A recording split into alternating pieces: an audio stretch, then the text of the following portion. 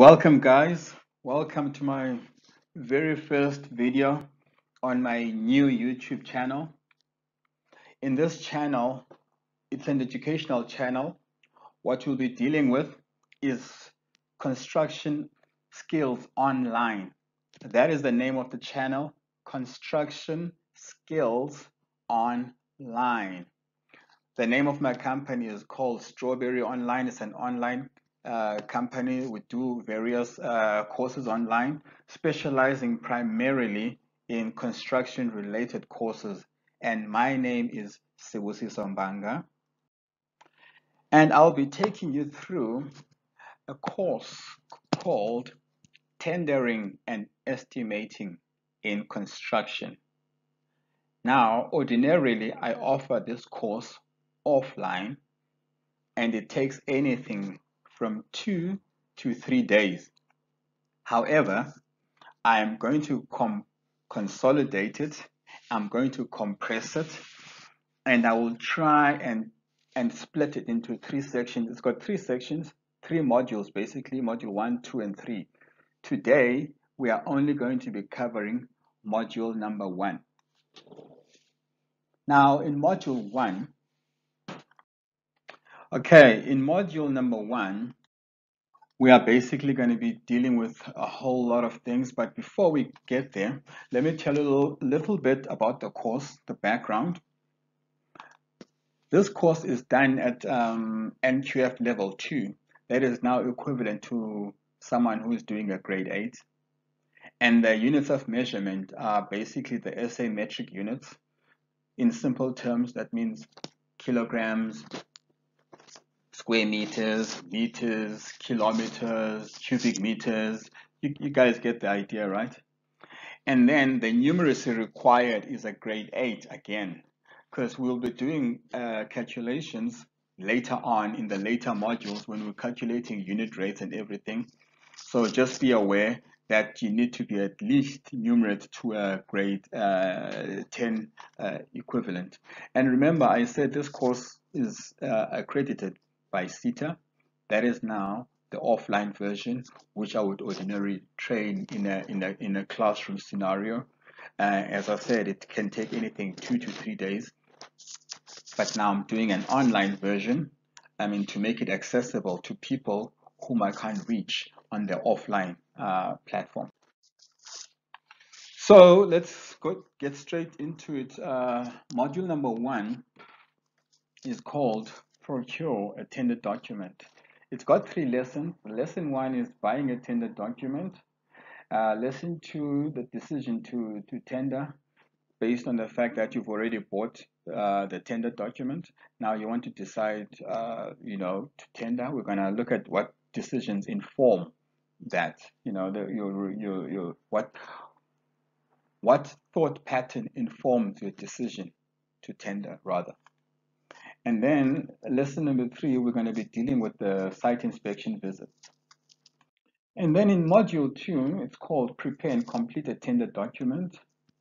Uh, we're going to be looking at information on the tender document, how to really extract it and make sense of everything in the tender document, cal calculate the allowable cost for work activities, basically calculate the tender rates, add profit markups, you know to to your rate so that uh, you can actually have a selling price and then calculate preliminary and blah, blah, blah, preliminary and general pay items that basically that are known as your P's and G's and then complete the tender document.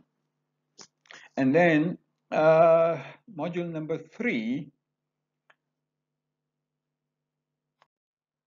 In module number three we'll be looking at uh, submitting a tender document the lesson we're going to cover there is completing all the tender returnables, you know, all those things that you have to put in your company information, triple BE certificates or, or sworn affidavit, your tax clearance information, CSD, construction program if they want, cash flows, all those, those, those tender returnables. And then actually how to submit the tender document you know basically knowing where where it closes, what time it closes, and what information to put on the envelope. So basically, those are the things we'll be looking at in, in, in lesson number 10. But let's go to um, module number one, procure a tender document. Buying a tender document. Firstly, before you even think of buying a tender document, you've got to understand there's basically three main types of tenders. The first one is your open tenders. Usually, it's usually issued by government, but even private companies can issue out these open tenders.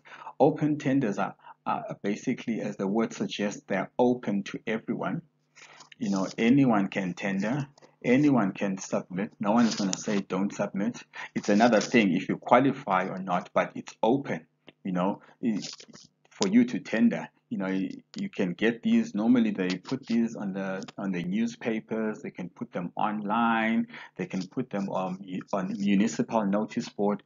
There's various uh, platforms where you would have uh, open tenders advertised um, the second type is your invited or closed tenders. This is when the client is just inviting a few contractors to tender. Perhaps the client has worked with these contractors before and he, he knows the quality of work that he wants and it's his money. Usually these are, this would be a private client. So he knows uh, the quality of work and he knows the type of contractor he wants to work with. So he would invite uh, those specific contractors to uh, submit tenders.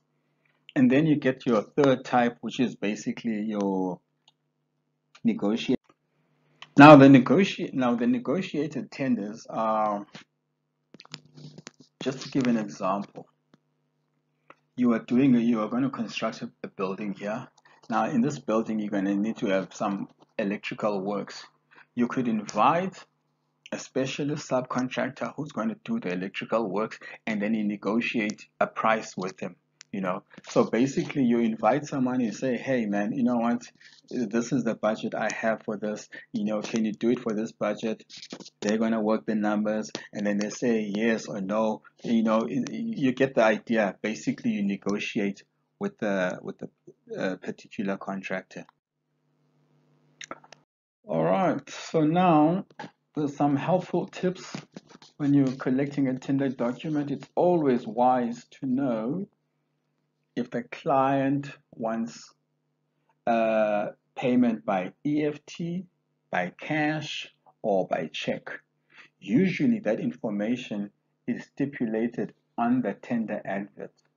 So before you go and collect your tender document, read and see how the client wants payment done.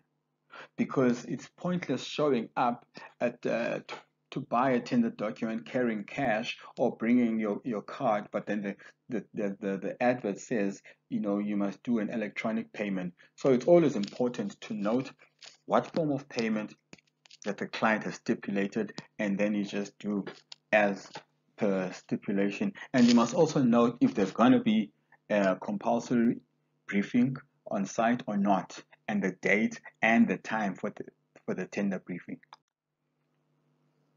Okay. Now let's presume you've bought the, the tender document. Now you must decide okay you've had a look at it and now you're thinking to yourself do I want to price this document? Do I really want to submit this tender? Now, there's a couple of things that you look at before you make that decision. One of the things you look at is you look at your at the financial resources at your disposal. You know, do you have enough capital? Should you be successful to execute this work? Maybe if you are very low on capital, or uh, at, at the current point, maybe if your capital is tied up somewhere, then it might not be a good idea to submit a tender. I mean, those are the things you're basically going to be looking at. Look at the market conditions. You know what's happening in the construction industry at the moment. You look at what's going on. How are the how is there a lot of work? Is there is there you know if there's a if there's a lot of work, you know, if you've got a lot of work, you might actually not need to to submit this tender otherwise your resources will be very uh, will be will be stretched. If there's little work and you know so you, you you basically look at all these things. If there's little work then you obviously want to price and you will know what profit margins to use because if there's little work going around then you're going in at very very tight margins. So you got to see if you are able to handle those tight profit margins you know before you actually decide to to to put the tender. And you look at your current workload this ties up with the with the with the second with the second one.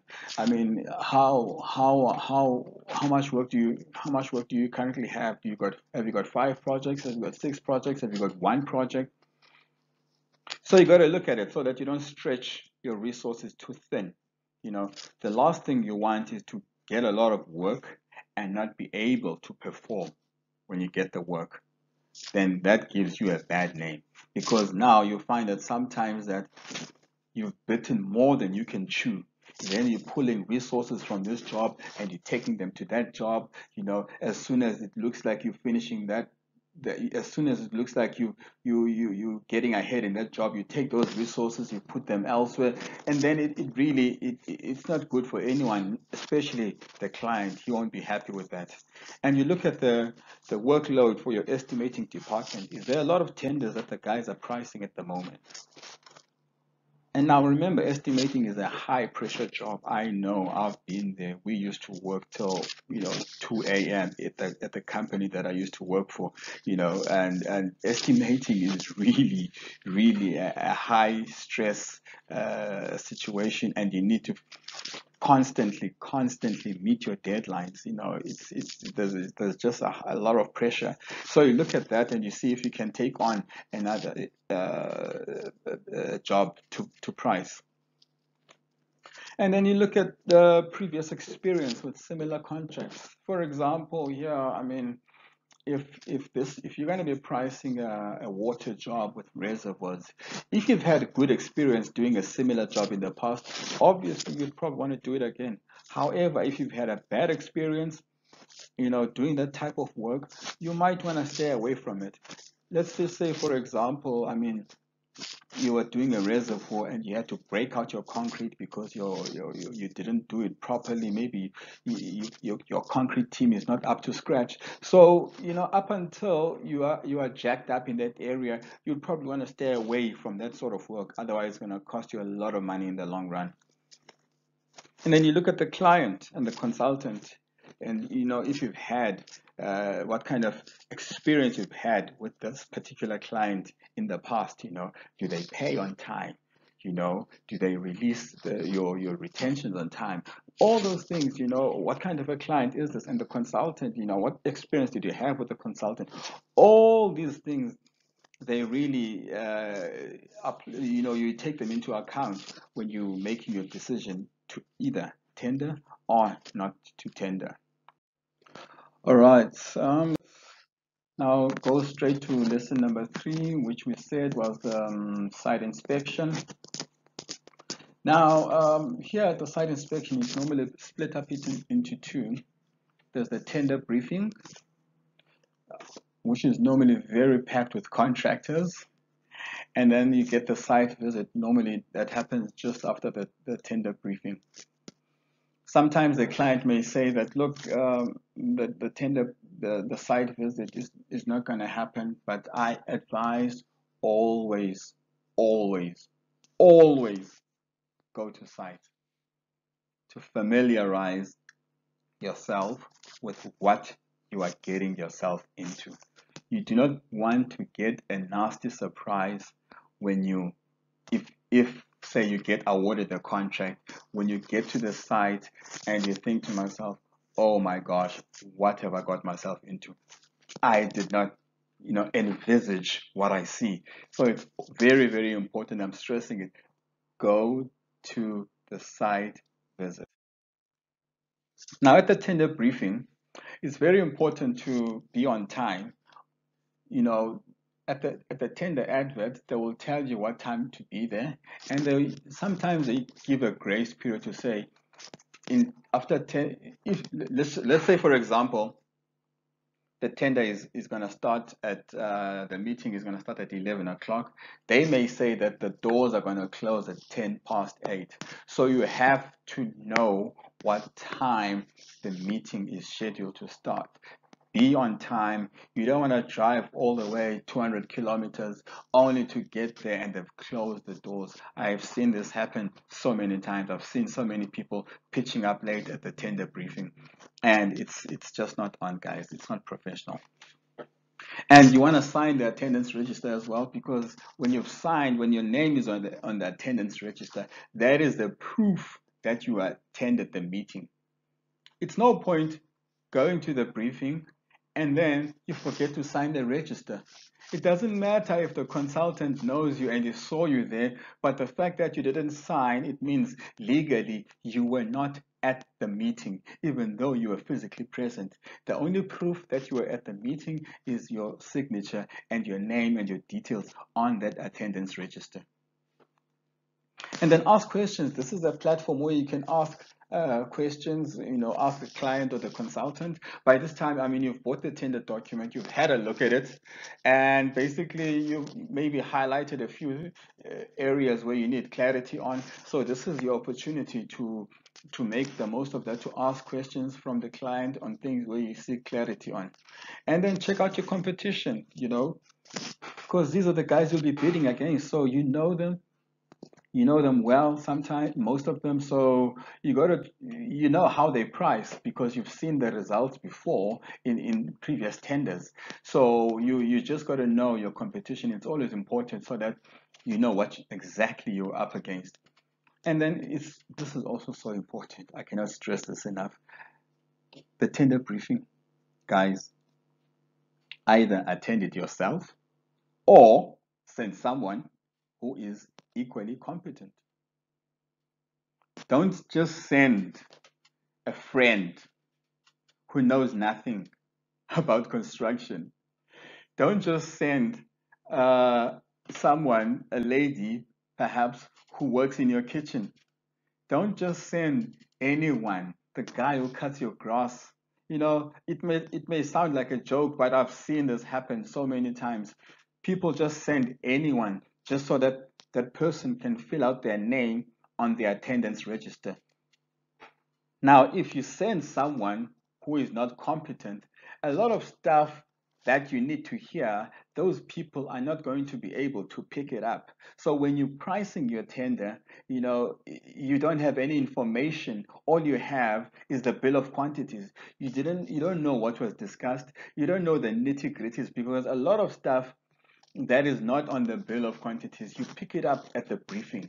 Just those subtle things that, are so important. You pick up at the at the tender briefing. So it's so important, guys, to go there yourself or send someone who is equally competent.